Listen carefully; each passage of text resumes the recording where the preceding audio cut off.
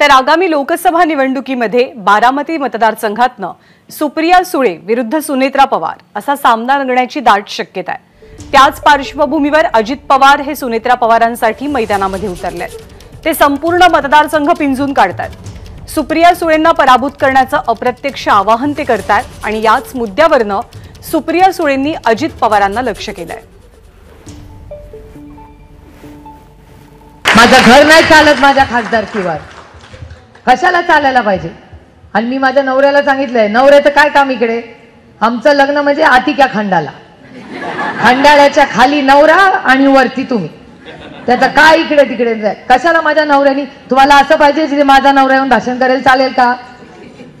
पार्लमेंटमध्ये नवरा जाणार आहे का मी जाणार आहे? नवऱ्यानी कॅन्टीन मध्ये बसायचं. माझा नवरा येत नाही. पण ज्या नवऱ्याला उत्साह आहे ना त्यांनी यायचं पार्लमेंटमध्ये. बायको आत गेली की कॅन्टीन मध्ये बसायचं पर्स घेऊन.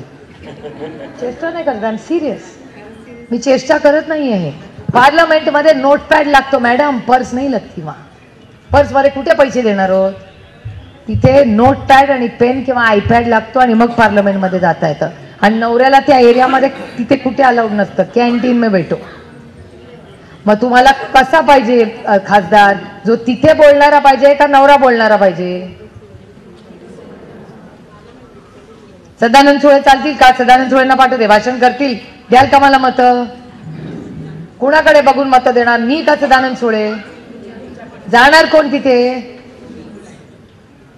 त्याच्यामुळे विचार करून मतदान करा. कितीही सदानंद सुळेंनी उत्तम भाषण केलं तरी शेवटी पार्लमेंटमध्ये मला जाऊन बोलायचे. विषय मला तिथे जाऊन मांडायचे. आणि तिथे लढायचं पण मलाच आहे. एबीपी माझा.